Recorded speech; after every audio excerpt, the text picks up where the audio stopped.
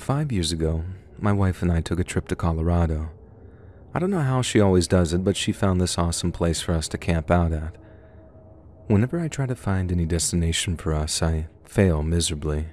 It's one of the many reasons why I love her. She always has a plan and she keeps me on track, which is great since I'm the most indecisive person I know. Basically, we had free reign to camp wherever we wanted in this area. I drove our truck to the perfect spot and then we started setting up our tent, grill, music, and everything else we would need to make this an awesome trip. We were planning on staying five nights, and unfortunately, we only made it three. I'm sure you would leave too if you experienced what we had experienced on that third night. The first few days were great. Unlike a lot of camping destinations in the United States, this part of the country was different. Maybe it's just me because I grew up on the East Coast, but when I think camping, I think trees, lakes, and slasher movies from the 80s. But instead, this area was filled with mountains, sand, and an entirely different type of vegetation that I was used to on the other side of the country. I fell in love instantly with the area that we were in, and I made sure that I was living each day to the fullest. Probably the best part of this specific trip, though, was the fact that there was nobody there. In three days, we hadn't seen one person, and where that may seem creepy to some people, for us, this was perfect. Then the dreaded third night came. The day was awesome, just like the previous days. We hiked some mountain trails, and we were a bit more exhausted than we had been. We took it easy that night and got into our tent early, I think the last time I looked at the time, it was around 9 p.m. Not long after looking at the time, I fell asleep and my wife did as well. I woke up several hours later to my wife shaking me. I was concerned and asked her what was going on. She was holding a finger up to her lips, gesturing to be quiet and pointing outside the tent. I was quiet, but I didn't know what I was listening to. She eventually sort of mouthed the words to me I think there might be an animal out there. I laughed because I remember thinking that it was cute that she was afraid of an animal. In hindsight, that was very stupid of me because there are a number of animals in that area that could have easily ripped us to shreds if they wanted to. I began listening some more since I didn't hear anything right away, and then I heard the growl. It was the weirdest growl I had ever heard in my life. Not that I'm some animal expert, but this growl was strange. It didn't feel deep and guttural like the sound of a bear growling. It was more like this weak attempt at a growl. I was thinking that maybe some dying animal was out there. And then I started to remember some article that I had read about a coyote with rabies or something, and it went crazy and attacked a bunch of people. The footsteps of the animal outside of the tent sounded light, so whatever this creature was, it was small, like a coyote. I didn't want to take any chances with this beast, when I heard the creature make some distance away from the tent, I slowly unzipped it and told my wife to just get in the truck. Once the zipper was fully unzipped, we didn't see anything, so we both quickly jogged over to the truck and I unlocked the doors and we dove in. Once we were inside, we were looking out of the tinted windows and trying to get a glimpse of whatever creature was making that noise. A few minutes passed and we still didn't see anything, no movement whatsoever. I know something was out there. Not only did I hear the footsteps, but we could clearly hear the strange growl. My wife started to fall asleep again, and this time I jolted her awake. I screamed because what I saw was not a creature. It was, in fact, a human being. It was a very wild looking guy with long hair and seemingly a beard. He was walking sort of hunched over and just making these growling noises that we'd heard before. I was angry, and I was just about ready to get out of my truck and confront this guy, and then the nightmare got worse. Just beyond where we had our tent set up, three more men walked into our camp area. It looked like they were seemingly whispering and laughing to one another. Three of the four guys were carrying these huge sticks, at least I think they were sticks, one of the guys, without notice, then pulled the stick all the way back behind his head and forcibly swung the stick down on top of our now empty tent. I heard the one guy yell, something, which made me think that this guy must have thought that we were still in the tent. Fight or flight mode kicked in immediately. I started the truck and drove off as fast as I could, leaving the tent and all those creeps in the dust. I didn't even look back to see his facial expression or anything. I just drove as fast as I could and as far away as I could. While we were driving, my wife waited until we finally got service and then she called the police and told them what had happened. I think she was put in touch with a park ranger or someone like that because some type of law enforcement called her phone a few times. We never went back for the tent or any of our stuff, which was fine with us. The park ended up charging me some sort of fee for leaving all of my stuff there and technically canceling my reservation early by leaving after three days. The law enforcement was sympathetic, but the people who operated the camping at the park didn't care at all what we had been through and still charged us fees, claiming that it was policy. At the end of the day, it was a small price to pay for the luxury of continuing my life unharmed.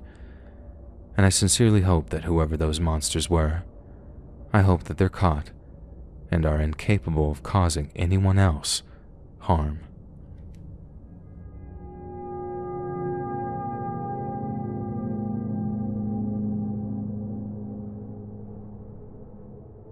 A lot of people hate the city, but I would rather take the city over the wilderness any day of the week, especially after what happened to me and my friends a year ago.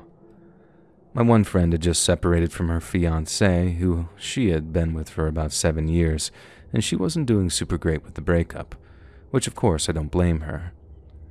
Our other friend, who is the outdoorsy type, suggested that we go away for a night and just camp out in the woods. Surprisingly, our friend was into the idea. So the three of us found this cute little cottage in the middle of the woods to camp out in for a night. I was excited to have a night out with my girls that wasn't in the city and wasn't all about getting dolled up and all that jazz. Of course, once we got there, though, my one recently separated friend got bored, which I knew was going to happen. She started looking up local bars in the area and eventually found this dive bar in a nearby town. Now, this was my idea of camping, at least that's what I joked with my friends about. It was still a nice change of pace, though. We went to this local bar, and it was nice not to have to worry about the city scene while we were at this place. It was a handful of locals at the bar, and that's pretty much it, at least as far as I could tell, anyway. My friend started up a conversation with one of the guys at the bar. It was a middle aged man, but he was handsome in a rugged kind of way.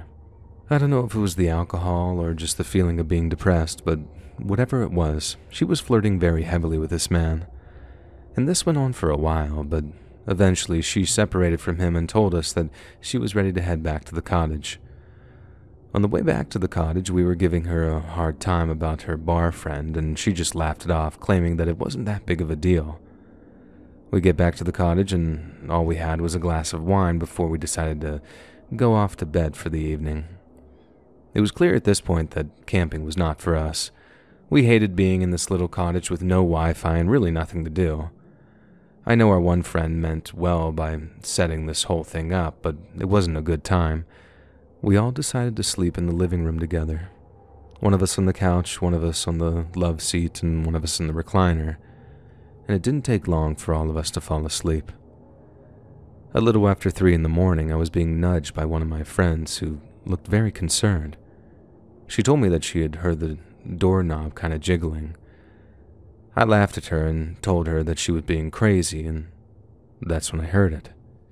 It really was shaking, and not just a little bit. Whoever was out there was really trying to get into the cottage. We were too scared to get up, so we just cuddled up together on the couch and held the blanket up to our faces. Since the cottage was so small, you could walk from the front door around the entire building in no time at all. And to our horror, that's what this person did. We listened to each step outside the cottage. They were clearly sneaking, but we could hear each little twig snap after each step. The person made their way around to the back of the cottage, which was behind the couch that we were laying on. There was a large window at the back. The person went to the window, and we started to hear the shuffling sound on the other side of the curtain. And then it occurred to us the person was trying to open it. I don't know what got into me, but I decided to yell. I'm calling the police. The noise stopped for a moment, and Then a whisper could be heard from the other side of the window. It seemed to be a man's voice, and he was whispering the name of my friend, the same friend who was flirting with that one man at the bar. My mind thought about the guy right away, and I refused to believe that he followed us here, but there was no other way that he'd know we were at this house. I whipped open the curtain, and like a deer in the headlights, the man just stood there. It was, in fact, the man from the bar. He put his hands up in this sort of defensive position like he was the one who was in trouble, and then he just ran. He didn't get into a car, at least none that I saw. We did phone the police right away and report what could have been a potential home invasion, and I'm not sure anything ever came of it since we left first thing in the morning, which wasn't that long after the cops left. It wasn't until the drive home that we really got ourselves worked up and scared. And that's when we started to piece together everything. We got back to the cottage before midnight, and this guy didn't try breaking in until after three. That means that he had to follow us to know where the cottage was, wait for us to sleep, and then try to get in. The thought of this man lurking outside for all those hours makes me want to throw up. I'm so thankful that my friend woke up to the doorknob noise because if she didn't, I don't know what would have happened. We found out after the fact that the window was unlocked and it would have only been a matter of time before he would have broke in. In a sick way, this trip really did help my friend because she was so thankful to escape unharmed that she was able to pull her life into perspective and start the long road of healing after a horrible breakup.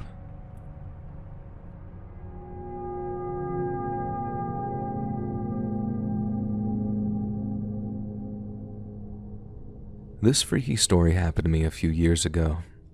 Back when my wife was still my girlfriend, we decided to take an impromptu camping trip.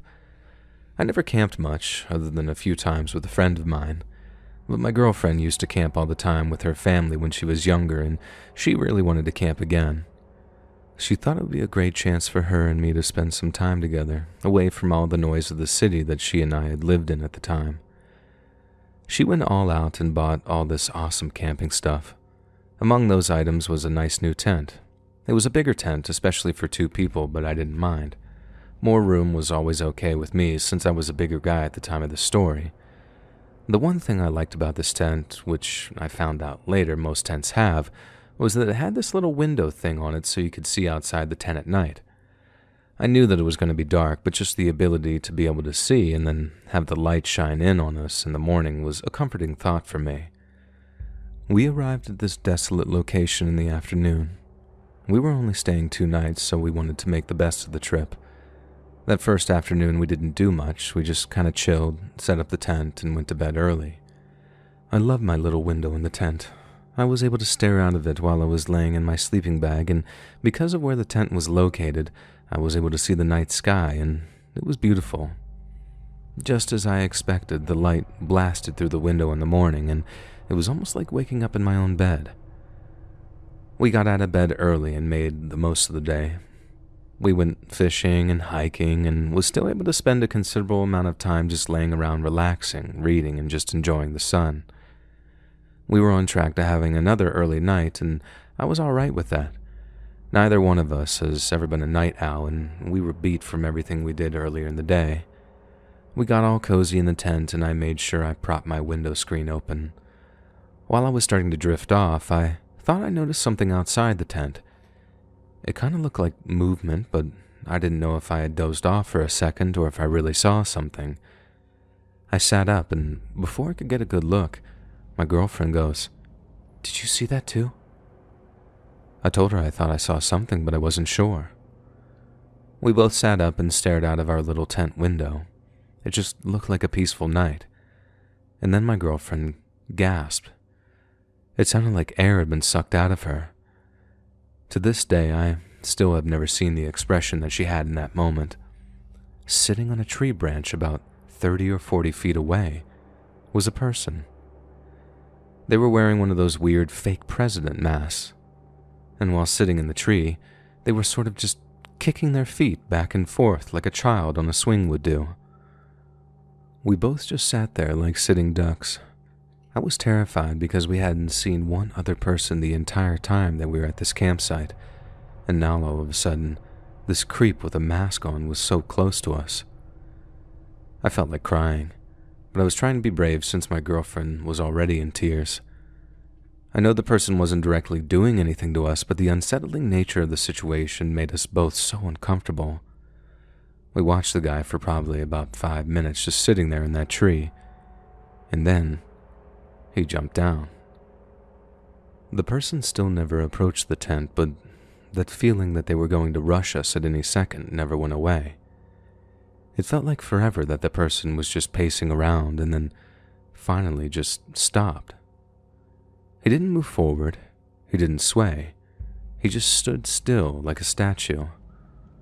A couple of minutes later, the person turned around and now they were facing the tent head on. We could hear them laughing under the mask, and the person started to wave right at us. Even with the mask on, it felt like the person was staring directly at me, and the wave wasn't just a subtle little wave. The person was erratically moving their hand back and forth like they were trying to get their hand to fall off of something. And then the person just stopped waving abruptly, and in a muffled voice that we could barely hear from under that mask, we heard the guy yell, Bye, guys and then he literally ran full speed off into the woods. We just sat there and continued staring out of the window all night long. We both may have dozed off at different points, but we mostly stayed awake for the entire night. The guy in the mask never came back, and there was no evidence of where he came from. That was the most disturbing part. Whoever this was, he knew that we were there. We had no idea how long he had been in that tree, it could have been minutes.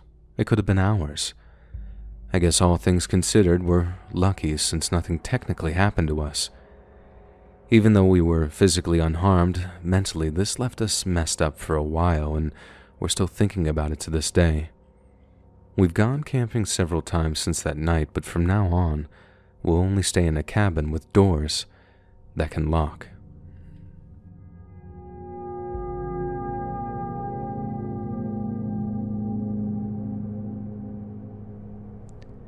I can't believe the story is over 10 years old now.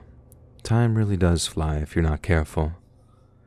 So, this story is probably one of the weirdest things that's ever happened to me, and at the time, it was incredibly scary as well.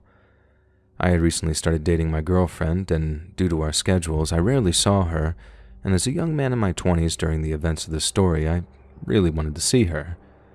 More than anything, I wanted alone time with her, and unfortunately, it just seemed like there was never a chance for us to be alone. I still lived at home with my parents, and so did she, so alone time wasn't really something we had much of. We had only been dating for a little while, and I was already annoyed. It seemed like she had something going on every night or weekend, and I just honestly felt like an afterthought to her. One weekend, I told her how I was feeling, and she responded by telling me that she had planned on a camping trip with her friends and that she was really sorry that we couldn't hang out again. I was furious and at this point I was close to ending things with her before they had progressed any further. That day, she left for the trip and she texted me and said, Sorry, I know this is last minute, but my friend said that you could come if you want to meet us there.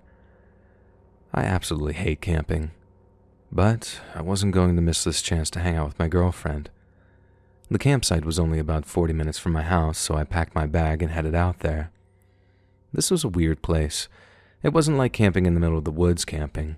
It was in a sort of wooded area, but the campsite itself was the big giant clearing that had dozens of other people camping out. It didn't seem private and certainly didn't feel like camping to me, at least what I thought of when I thought of camping. Once I got there, this is where I first met all of her friends. They all seemed like great people, and I was kind of excited to hang out with all of them that night. They were the opposite of my girlfriend, though, she was quiet and reserved, and all of her friends were very outgoing and loud, and they all had an awesome sense of humor. While we were all hanging out, that is when I noticed a bunch of trails in the woods. Once I started walking some of the trails, I started to realize just how big this place was, and it finally started to feel like what I thought of when I thought of camping. Earlier that night, we grilled some food on a portable grill and played some card games.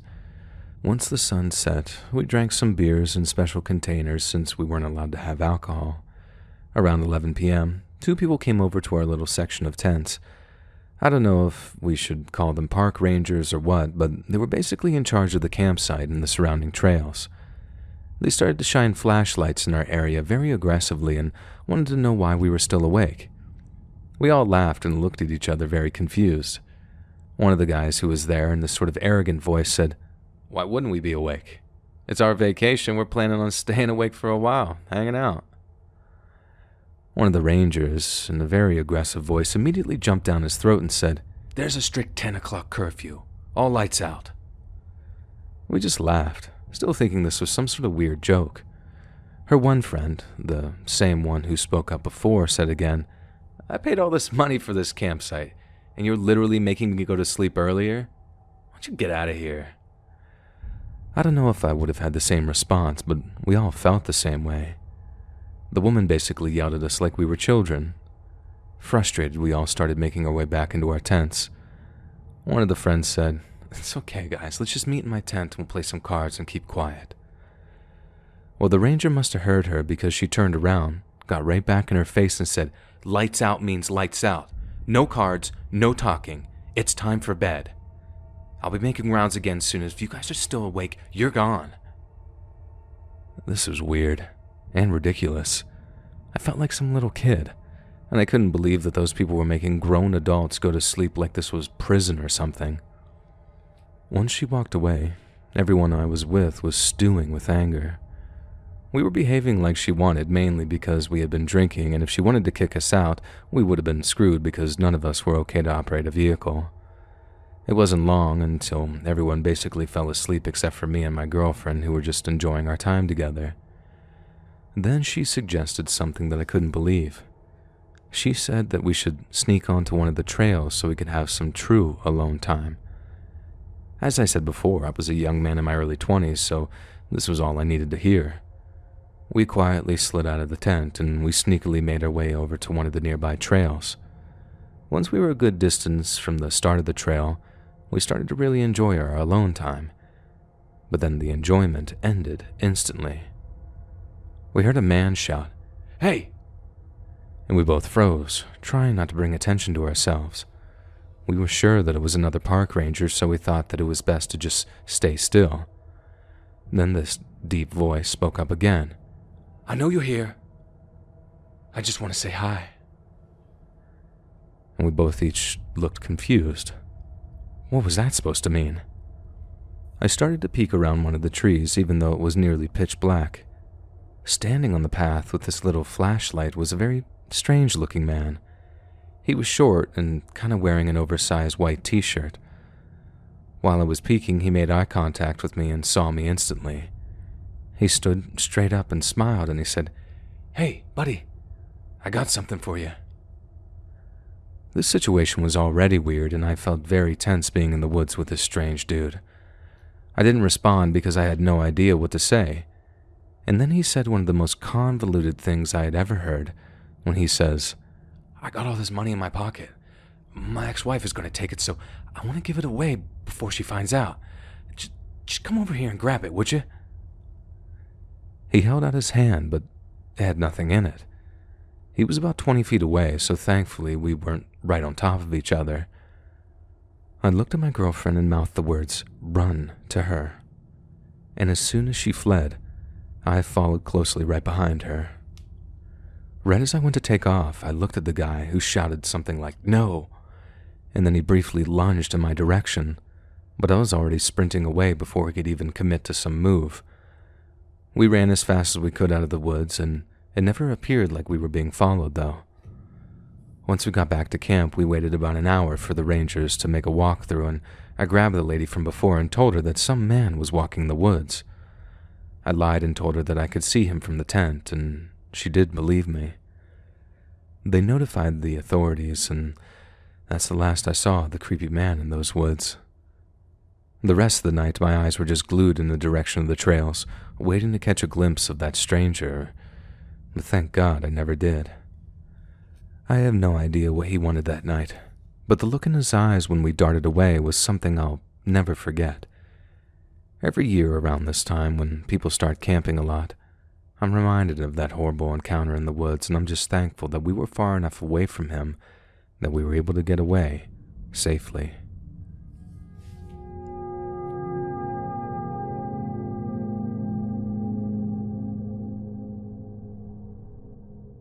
There is a reason why I have to be talked into camping every time it comes up in conversation with either friends or family. I don't mind the outdoors and I don't mind nature. I just feel like I want to sleep in bed and not on the ground in a tent. On this specific year, my boyfriend talked me into going camping, but this time we would be staying in a cabin so I can sleep in a bed. I still voted for the ocean, but at least I was actually going to be sleeping in a bed. The trip consisted of me and my boyfriend and two other couples. The six of us found a nice cabin in the woods that was mostly secluded and was only about a hundred yard walk to this beautiful lake that we could swim in. I didn't want to admit it, but I was actually feeling this trip quite a bit, especially once we got there. The first day was amazing. We spent all day walking some trails, swimming in the lake, and in the early evening we decided to cook up some steaks on the grill, and it was a great first day. That night, we all went inside and went to bed at around midnight, if I had to guess. I didn't sleep very well. I thought that I could hear something outside all night, but I just chalked it up to my imagination. After all, we were in the woods, so hearing strange noises all night long is not that weird. The next morning, we were all outside getting ready for a nice hike when we heard this jolly voice shout from behind us. Why, hello there! How are y'all doing today? My boyfriend, being the always social butterfly that he is, started talking to the guy right away. He told us his name was Wayne and that he was an expert in all the trails around here. And the whole interaction was just slightly strange, but I suppose not alarming. He said he lived nearby and that he was hiking some trails and he heard us talking and he just wanted to make sure that we were settling in okay. I remember thinking it was sweet of him to check in with us, he was a bigger guy, I would say well over six feet tall, and he had a pretty big gut. He had a backpack on with hiking boots and jeans, so he really didn't look like anything other than a typical hiking local. We thanked him, and he laughed in this jolly voice, and he went on his way. As we hiked, we laughed about Wayne for a little while.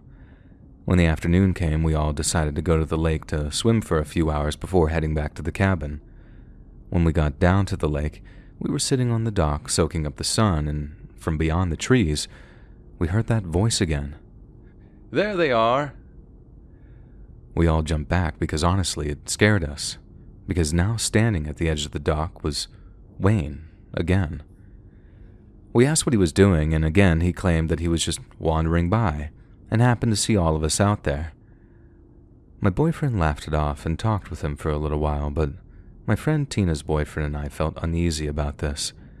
The entire time they were talking, Wayne just nodded, laughed, and kept looking around. After they finished their conversation, he kept mumbling, okay, under his breath, and then walked away. It was weird, but not really scary, at least not yet. That night, as we were all sitting around the campfire sharing scary stories, I felt even more uncomfortable for some reason. Suddenly, Wayne jumped out of the bushes without warning and yelled in this sort of joking voice, Here I am! followed by a loud and excited laugh. We all jumped out of our skin, even worse than at the docks. At this point, my boyfriend was upset and kind of yelled at Wayne, telling him to just leave us alone and go back home. He explained that scaring us like that wasn't cool, and Wayne was lucky none of us retaliated out of instinct. Wayne looked upset and claimed that he was just trying to help us have some memorable experiences on our trip. He left on one of the trails, I guess, and he seemed to look pretty visibly upset. I almost felt sorry for him until I realized that it was after 11, and there was no good reason for him to be wandering around our camp. The experience put a damper on the rest of the night, and we ended up calling it a night not long after that. We went inside and cleaned up the place since we were supposed to be leaving early in the morning. Once in bed, I told my boyfriend that I wasn't feeling great about this whole Wayne situation. I had a bad feeling that he would somehow come out again. I couldn't stop thinking that that weird noise that I heard the night before might actually be from this goofball. That night, I was wide awake again. I'm not sure of the time, but at some point during the night, I could distinctly hear breathing and footsteps outside the window. I woke up my boyfriend and begged him to check for me. He was annoyed at first, but then changed his tone instantly. I saw him look out, and his skin turned white as a ghost. And he whispered to me that he could see someone outside the cabin, pacing back and forth, and he thinks it's Wayne. I went to the window and tried not to draw any attention to us. What appeared to be Wayne seemed to be arguing with himself, talking but almost incoherently. He attempted to open the locked door, and when he couldn't, he started pounding his head as if upset with himself. And after pacing for a few more minutes, he seemed to just disappear back into the woods. We were horrified and didn't know what to do. My boyfriend called the owner of the cabin and informed him that we were also calling the police. A cop car showed up a few minutes later and we explained the entire day's events to the officer, including Wayne's appearance. The cop didn't seem too bothered and just simply nodded along. It felt like he was just sort of listening for the sake of listening and didn't grasp the potential severity of the situation. We packed up our stuff, made some coffee, and just stayed awake until dawn and once the sun was rising, we loaded up the van and headed home. Once we got to the main road, we saw Wayne walking by himself. He still seemed to be just sort of mumbling to himself, hitting his head from time to time. We called the dispatcher and told them that we had just seen Wayne, who had been trying to break into our house earlier, walking on the road, and that was the end of it on our side. I'm not sure if the cops ever eventually picked him up or if he just fled back into the woods. I wonder if he really does live nearby or if he was just some strange man wandering around, hoping to cause harm.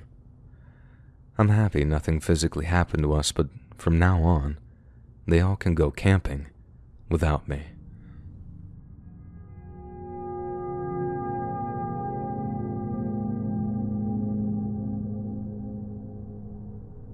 So I'm just now writing this story hours after the most insane moment of my entire life. I know that may seem a bit dramatic, but at the moment it was absolutely insane. My family and I just arrived at our campsite for the week, and I'm on eggshells looking over my shoulder every two seconds, even though deep down, I'm sure I'm alright. So bear with me as I try to do my best that I can to tell this story since it's the first time I'm recalling it since it just happened. So late last night, me and my family left our house to embark on our one week camping adventure. Our two kids were so excited to finally be able to join me and my wife on one of our camping adventures, and she and I had gone on all sorts of adventures over the years, but we wanted to wait until our kids were just a little bit older before involving them. Finally, that time had come for the kids to join us, and we set out on the seven hour drive a little after midnight. After the initial excitement of leaving and the musical concert inside my truck was over, everyone fell asleep in the truck except for me, which is fine. It gave me a chance to listen to one of my audiobooks that I've been neglecting for some time. I was surprised when we were close to our destination, and I realized that my family had mostly been asleep for the entire drive. They would have brief moments of waking up and asking where we were, but they mostly stayed out cold for the entire trip. About 30 minutes until we reached the campsite, I got the dreaded flat tire that no driver wants to get, especially when on vacation. I was lucky to have my spare, so this was no more than an inconvenience, but I was still annoyed. I remember being scared as I briefly lost control of the car and slid to the side of the road before I regained control. Somehow, my family was still asleep. I quietly got out of the truck and uncovered the spare tire buried under all of our luggage and while preparing to fix the tire, I started to wonder what I had hit. The flat tires seemed to appear out of nowhere, and for some reason I felt suspicious. I got the damaged tire off and replaced it with a spare. I was just finishing up changing the tire when I heard the light sound of someone clearing their throat. It sounded like my wife, but when I turned around, I was greeted by a small woman with wild dreadlocks and a tattoo of a rose on the middle of her neck. I said hello in a tentative and confused voice. The woman smiled and she said in this sort of delicate voice, Hi, I'm Summer. You look like you could use some help. I just smiled and said, Oh, thanks, Summer, but I, I think we'll be okay. I was trying to be polite, but I was not feeling great about the situation. This woman kept looking to the side of the road like she seemed to be communicating with someone, but whenever I looked over there, I didn't see anything. She kept on insisting on helping, never changing this nice and polite voice that she had, and I just kept saying no thank you. Eventually, I started to pack up the tools and get myself ready to hit the road, and that's when this woman said, I think you really need my help and then her voice changed sort of instantly. It wasn't this polite and delicate little voice anymore. It was angry, and almost a vicious voice as she said, Let me help you. I was not having any of this anymore. I turned to the woman, and in the meanest voice I could muster up, I said, Okay, lady, you need to leave. I got a family in the car and I'm not in the mood for all this crazy crap. If you don't leave, I'm calling the police right now or I'm taking care of this myself. I thought that my threat might do the trick, but instead, she just starts to laugh. I had enough and just turned around while she was laughing. I opened the driver's side door and put my keys in the cup holder, so all I had to do was push the start when I entered the truck. When I turned back around to grab the lug wrench, which is that cross shaped wrench if you don't know what I'm talking about, I turned around to the woman and she was about in mid swing with this lug wrench, haphazardly attempting to strike me, presumably in the head. She didn't seem very lucid, and I was able to catch the blow with my hand, and I ended up just kicking her in the knees and shin, I guess, and she fell to the ground. She started grunting, and then began to run to the side of the road that she had kept looking at earlier. At this point, without wasting any time, I get in the truck, and I just sped off as fast as I could, constantly checking my mirror for any sign of this woman or any car following me. And thankfully, the last 30 minutes of my drive went by with no crazy people or issues.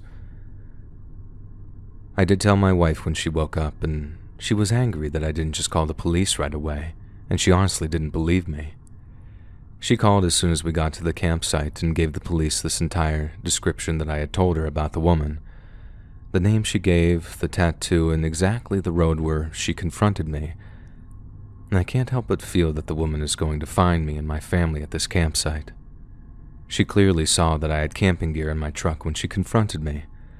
I didn't realize it until later, but now I can't help but think that she was somehow responsible for causing that flat tire. But clearly, I have no evidence to back that theory up. I'm going to try and enjoy my trip, but I wanted to get the story out while the details were clearly in my head. Now I can't stop wondering what it is she wanted. Did she want my truck with that spare tire? Did she want to rob me? Or was it something much worse? Wish me luck on my trip. If anything happens or any new developments come to light with police or something, I'll be sure to update everyone, but until then, I hope I never see that woman with that rose tattoo ever again.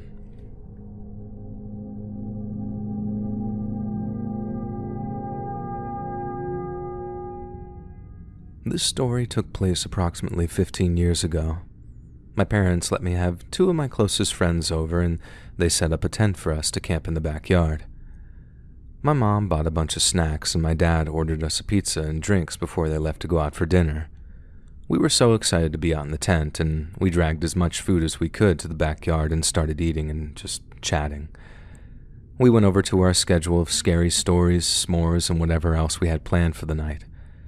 We ate as much dinner as we could and then started sharing stories of our crushes and if we had enough courage to ask them to dance when school started the following year.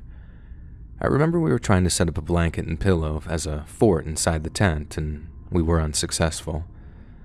The whole time I felt like I heard something outside the tent, though. I unzipped the screen, or the window as you call it, so I could look outside the side of the tent, but I didn't see anything and then about five minutes later, my friends said that they thought they heard something too, and it sounded like something brushed against the tent. Now, my friend Audrey looked out the open screened window and said, I feel like I see something in black over there. Do you see it? As soon as I looked, I saw this sort of white Nike symbol jump out to me very quickly. I couldn't help it, but I screamed, followed by my friends screaming, and we ran into the house. We went into the bathroom and just locked ourselves in there. We tried to be as quiet as possible, but then we heard footsteps and the bathroom door began to jiggle. We all screamed at the top of our lungs, and Audrey was now on the phone with the police. While she was on the phone, we were still screaming, and then I heard my mom telling us to come out of the bathroom. We slowly opened the door, and my parents were standing there. Still on the phone with the police, my dad grabbed the phone and said, uh, I'm sorry, this is the father. I, I was just playing a joke on the girls during their sleepover. Being adults now, I'm surprised the cops didn't show up, but it is a small town and my dad knows everyone, so I'm sure he ended up talking to one of his friends and saying everything was alright. My friends and I were pretty angry at first, but my dad was a jokester and we got over it pretty quickly. He offered to get the fire started for us and help us with our s'mores. He played some light music and got the fire started for us in the backyard. He kept asking if there was anything else we needed at the store or inside, and I think he was feeling pretty guilty for actually scaring us so bad. We got tired pretty quickly and made our way to bed in the tents and just talked about anything and everything until we started dozing off and falling asleep one by one. I think I remember being the last one awake, wanting to make sure that my friends were comfortable and could fall asleep. I woke up suddenly, though, to pitch dark and the sound of crickets. I felt like I heard something, but maybe it was just a dream when I woke up. I heard one of my friends snoring and breathing pretty heavily. I hadn't noticed it before, but I assumed that they must have been completely zonked out. As I tried to doze back off, the breathing and snoring became louder, so I sat up to see if I could see which friend it was coming from. As I sat up, I was at eye level with the window screen and felt like I was having flashbacks from earlier and saw something move. Then all of a sudden, I heard the zipper from the tent door open. I yell, Dad, knock it off. Earlier was enough. I, I want my friends to actually want to come over again. He didn't say anything back, and my friends were starting to stir around now. Annoyed that my friends were now going to be woken up, I said, Dad, get out of here, please. I can still hear the response in my head, a voice that was not my father's, and much deeper said, How do you know it's me? My whole body felt like it froze, but the only thing I could think to do was grab my friend's hands and pull them. I basically dragged them, and we all ran inside. I don't remember anyone else screaming or yelling. I think my friends were more confused than anything else. I went right into my parents' room and told my dad what had happened. He seemed to jump right out of bed and went outside. I could hear him yelling something, and then he came back in and got on the phone. He told my mom to stay inside with me and my friends, and he waited outside. We eventually saw flashing lights. He was outside with the police for about 20 minutes, if I had to guess, and came back inside and talked to my mom first and then to me and my friends. He told us that there was a guy that seemed to be causing problems in the neighborhood that night, and thankfully they did catch him, and we were safe. He said he was so sorry for scaring us earlier and was happy everyone was okay. He asked my friends if they wanted to call their parents or go home. Aubrey was fine, and she said that she wanted to stay, but May called her mom and just went home. Aubrey and I decided to take our little camping night to the living room, and my dad got us comfortable and made an impromptu pillow and blanket fort for us. There were only a few hours until morning, and we got up early. My mom and dad made us breakfast and then asked if we wanted to have a pool day. And I remember that day being exactly what we needed to get our minds off the night before. I'm still friends with Audrey to this day, and I honestly don't think either of us have been camping since then. Hey, friends, thanks for listening. Click that notification bell to be alerted of all future narrations. I release new videos every Monday, Wednesday, and Friday at 7 p.m. Eastern Time, and there are super fun live streams every Sunday, Tuesday, and Thursday night. If you got a story, be sure to submit them to my subreddit, r slash let's read official, and you might even hear your story featured on the next video. And if you want to support me even more, grab early access to all future narrations and bonus content over on Patreon, or click that big join button to hear about the extra perks offered for the channel. And check out the Let's Read podcast, where you can hear all of these stories in big compilations and save huge on data, located anywhere you listen to podcasts. Links in the description below. Thanks so much, friends. And remember, can you take me higher?